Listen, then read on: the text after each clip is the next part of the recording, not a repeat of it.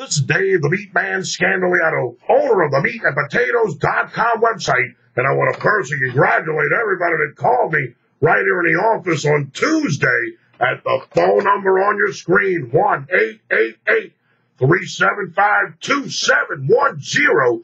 I give you the Minnesota Timberwolves plus the points. We didn't even need a stinking points cap. They beat the Chicago Bulls outright. Know a lot of people out there saying, well, Meat Man, how did you know that was going to happen? Well, the head coach of the Minnesota Timberwolves, Tom Thibodeau, he was the head coach of the Chicago Bulls last year. They fired him. So, you know, he wanted to beat his old team. Uh, uh, this was going to be Minnesota's only trip back to Chicago. And uh, the bottom line is the Timberwolves, they won the game for the coach, and we got the money, brother.